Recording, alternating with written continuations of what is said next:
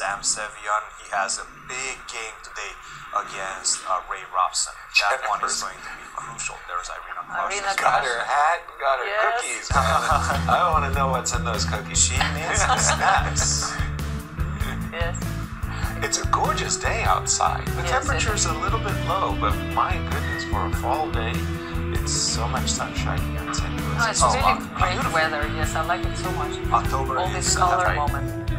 Funny, I'm looking at these two minor pieces. I look at this bishop on d4 and I say, what a magnificent, this is really, This looks great. And then I look at this knight on d4 and I say, wow, what a magnificent knight.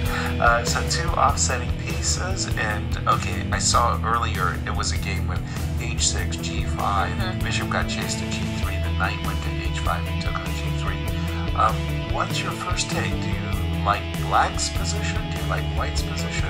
I just, I, I really like this bishop actually because I used So to play like. Volga before and uh, when, Did you? when Oh, this bishop nice. goes to D, d4, I mean I'm normally very happy. And All right. long diagonal seems to be mine.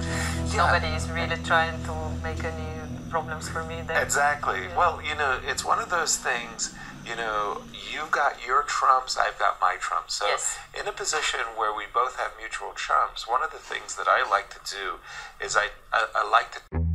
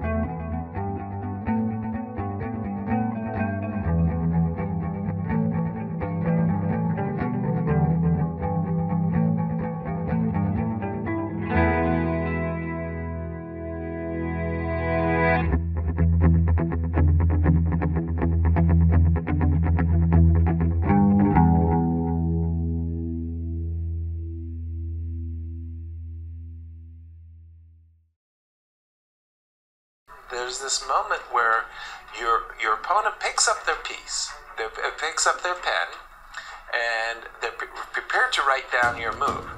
And then the move that you played is such a shock that you don't respond. You don't just write down the move. You, you, you, take that pause, and that's the tell. That's when you know your opponent has missed the move you played, E5.